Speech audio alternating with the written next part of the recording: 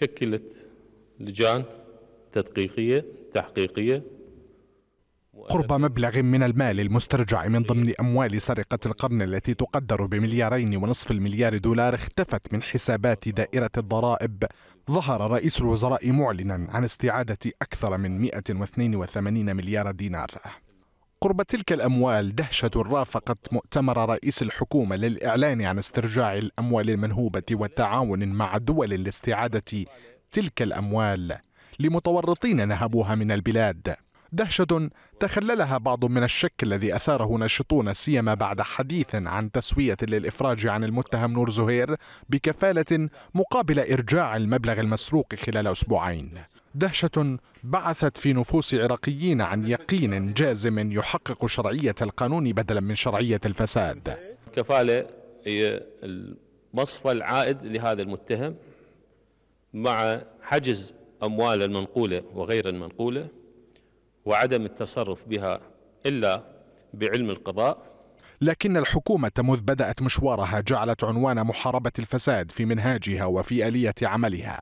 وهو ما يمثل اختبارا صعبا فيما تصرح به وتقول أو تفعل. إذ تظهر آراء مراقبين لسياسات حكومات متعاقبة أن القضاء على الفساد لن يكون سهلا سيما مع وجود فصائل متجذرة في الدولة تصنع لا دولة في تحويل نهج الفساد لنظام متعمق من شبكة مسؤولين وموظفين متورطين في قضايا سرقة وسلب واحتيال. كان آخرها ما تحدثت عنه وسائل إعلام أمريكية بارتباط فصائل متورطة في مخطط السرقة الضريبية والتي أودت إلى مشاحنات ومواجهات عنيفة في الشوارع قبل بضع شهور. الحكومة أكدت أنها ماضية في محاربة الفساد وأن القوانين تتيح لتخفيف العقوبات على المتهم بالرشوة. فيما يرى آخرون أنه ليس سهلا على الحكومة محاسبة متورطين بوزن مسؤولين كبار أو زعماء في العملية السياسية نظرا لنفوذ أحزاب وميليشيات للمصالح.